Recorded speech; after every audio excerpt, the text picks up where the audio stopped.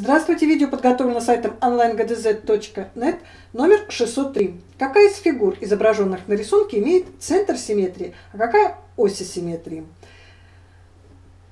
Фигура под номером 1. Эта фигура имеет центр симметрии. И центром симметрии является точка пересечения ну, всех, можно сказать, диагоналей этих, этой фигуры. Точка Ом. Потому что мы видим, что для каждой из вершин этой фигуры относительно точки О существует ей симметричная противоположная вершина.